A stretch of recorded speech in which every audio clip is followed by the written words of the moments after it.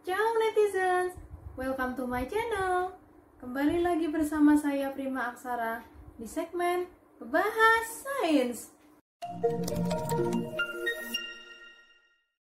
Pernahkah kalian merasa sakit saat menyelam di kolam renang atau laut dalam? Tenang saja, hal itu sebenarnya normal kok. Rasa sakit tersebut timbul seiring dengan meningkatnya kedalaman air. Hal itu merupakan dampak dari tekanan air pada tubuh makhluk hidup. Semakin dalam kedalaman air, maka akan semakin tinggi tekanan yang diterima oleh tubuh. Agar bisa digunakan untuk menyelam di laut dalam, kapal selam harus didesain dan menggunakan material khusus agar dapat menahan tekanan yang sangat tinggi di dalam air. Mungkin banyak dari kalian yang bingung, kenapa kapal selam yang terbuat dari baja yang sudah didesain sedemikian rupa masih bisa rusak atau pecah ketika menyelam di perairan yang sangat dalam. Sementara itu, Ikan, cumi-cumi, dan hewan laut lainnya yang tubuhnya lunak bisa hidup di laut dalam tanpa pecah sedikit pun. Apa sih alasannya? Temukan jawabannya dengan menonton video ini hingga selesai.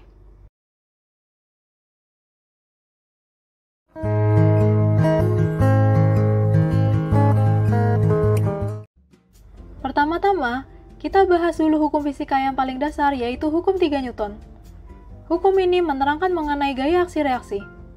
Pada hukum ini, dijelaskan bahwa untuk setiap aksi selalu ada reaksi yang sama besar dan berlawanan arah, atau gaya dari dua benda pada satu sama lain selalu sama besar dan berlawanan arah.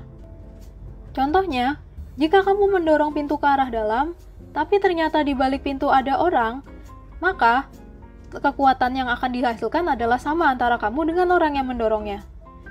Akibatnya, pintu menjadi tidak bergeser, Keadaan ini biasa disebut sebagai gaya yang setimbang atau sigma F sama dengan 0. Lalu, apa sih hubungannya hukum Newton dengan kapal selam dan ikan? Hubungannya tentu saja ada di sekat kesetimbangan tekanan. Tekanan di dalam tubuh ikan maupun kapal selam harus sama dengan tekanan pada air laut atau tekanan eksternal, yang bertujuan untuk mencapai kesetimbangan. Jika terdapat selisih perbedaan tekanan yang signifikan, maka kapal selam bisa pecah. Jadi, kapal selam harus terbuat dari bahan yang kuat agar dapat menahan perbedaan tekanan yang tinggi di dasar laut. Alasannya, agar orang dapat naik kapal selam, tekanan di dalam kapal selam dibuat sama dengan tekanan normal di permukaan bumi atau sekitar satu atmosfer. Sementara itu, tekanan eksternal dari air laut akan terus bertambah seiring dengan bertambahnya kedalaman laut. Setiap kedalaman laut bertambah 10 meter, maka tekanan akan bertambah satu atmosfer. Kapal selam umum yang ada saat ini bisa menyelam hingga kedalaman kurang lebih 350 meter. Jika menyelam lebih dari itu, kapal selam bisa pecah akibat perbedaan tekanan yang signifikan. Kalau begitu, kenapa sih ikan, cumi-cumi, gurita, maupun paus bisa menyelam lebih dalam daripada itu? Alasannya, karena hewan laut tidak memiliki ruang bertekanan atmosferik, seperti di dalam kapal selam pada tubuhnya. Sehingga, tekanan antara tubuh hewan laut atau tekanan internal dengan tekanan air laut atau tekanan eksternal menjadi setimbang. Jadi, hewan laut tidak akan pecah atau mati meski menyelam di laut yang dalam.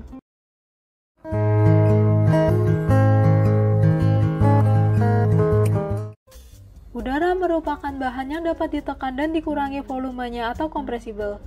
Jadi, ketika tekanan eksternal dari laut dalam bertambah saat mencapai titik di dekat titik maksimum kapal selam, Tekanan udara dalam kapal selam dapat bertambah sehingga menyebabkan logam keras menyusun kapal selam akan menciut dan teremas atau squeeze.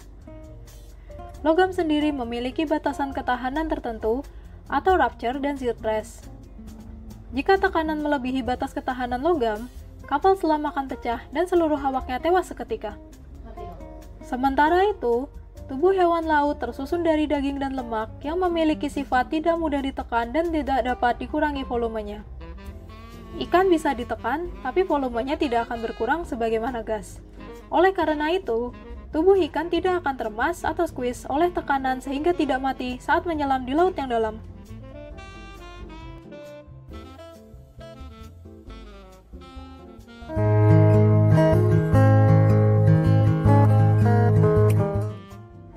Kapal selam merupakan benda mati yang tidak dapat berjalan tanpa dikendalikan.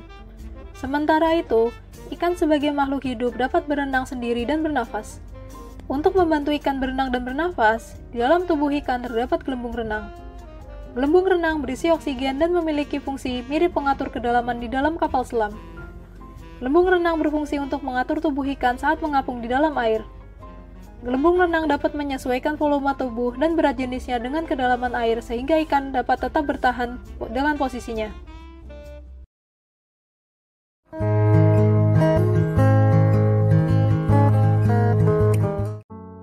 Semua hewan termasuk ikan di laut pasti memiliki membran sel. Agar membran sel tidak pecah dan membeku di perairan dalam, diperlukan adaptasi. Ikan-ikan yang bersifat lunak dapat beradaptasi sehingga tubuhnya banyak memiliki lemak tidak jenuh yang tidak dapat membeku dan tetap berwujud cair. Hal ini memungkinkan sel tubuh ikan untuk merenggang sehingga tidak pecah pada tekanan tinggi. Protein pada tubuh ikan laut juga lebih fleksibel, sehingga memungkinkan tubuh ikan untuk merenggang dan tidak terkompresi akibat tekanan.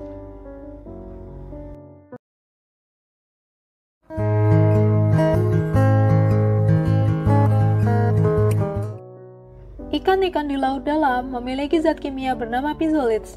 Zat kimia ini menyebabkan ikan laut dalam menjadi berlendir dan berbau sangat amis. Pizolids ini berfungsi untuk menahan protein dan lemak pada tubuh ikan supaya tidak pecah akibat tekanan.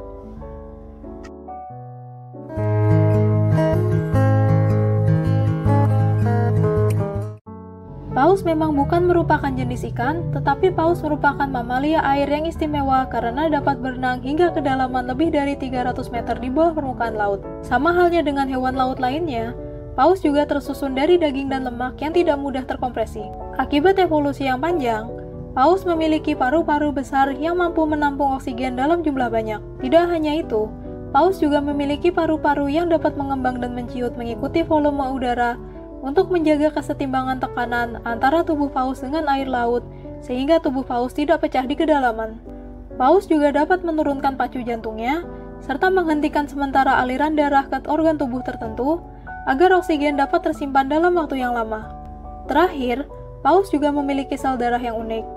Sel darah paus memiliki banyak molekul hemoglobin dan mioglobin yang sangat berguna untuk menyimpan oksigen dalam jumlah besar di waktu yang lama, sehingga kesetimbangan antara tubuh paus dan air laut bisa tercapai.